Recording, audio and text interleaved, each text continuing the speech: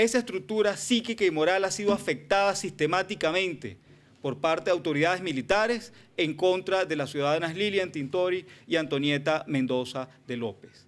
Estas medidas lo que están dirigidas fundamentalmente a es evitar cualquier tipo de acercamiento, instrucciones de la autoridad militar que afecten la integridad psíquica o moral de las ciudadanas Tintori y Mendoza en el trato que tienen en la cárcel de Ramo Verde cuando van a visitar a su familiar. Eso tiene que cesar inexorablemente, así como, que, como de igual manera tiene que cesar esas requisas humillantes, esas requisas con desnudez, esas requisas tortuosas. Estamos en presencia de graves delitos estamos en presencia de unas medidas de protección dictadas por el Ministerio Público que no solamente traen como consecuencia que deben defenderse y protegerse efectivamente los derechos humanos de estas ciudadanas venezolanas, sino que también los responsables de estos delitos tienen que responder ante la justicia.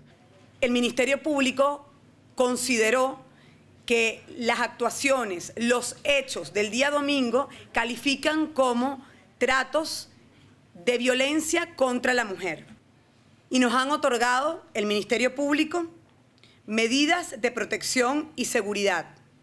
El coronel de la cárcel no se nos puede acercar, el coronel de la cárcel no nos puede hablar. Voy a leer los dos artículos. Me explicaron que es el artículo 90 de la Ley Orgánica de Violencia contra la Mujer. Artículo 5. Restringir al ciudadano titular acercarse a la ciudadana Lilian Tintori Parra, titular de la cédula de identidad 13309-987, en su lugar de trabajo, de estudio y de residencia de la misma. Artículo 6.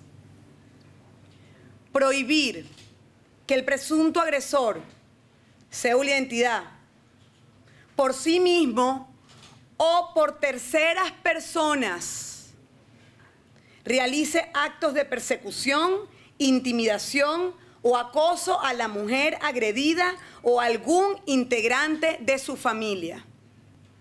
Estas son las medidas que hemos recibido de parte del Ministerio Público como protección a la mujer, protección y seguridad. Estuvo con Leopoldo 10 minutos, máximo 15 minutos, y me dijo, ayer me hicieron una requisa de venganza. Mientras nosotros denunciamos que algo pasaba, sí, algo pasaba. El DIGESIM subió a la celda de Leopoldo en el cuarto piso de la torre y le hicieron una requisa de dos horas, todas sus cosas en el piso, destrozaron su celda y el otro espacio que él tiene donde escribe, come y lee, dejaron todo en el piso, incluso la comida la lanzaron en el piso. Y luego de terminar esta requisa de venganza por las denuncias que su mamá y su esposa hicieron, lo encerraron en su celda, sin luz, sin comida y sin agua. Leopoldo ayer no cenó, no lo dejaron comer y no le dieron agua. Quedó encerrado en su celda desde ayer a las 8 de la noche hasta hoy en la mañana que el coronel fue y abrió su celda.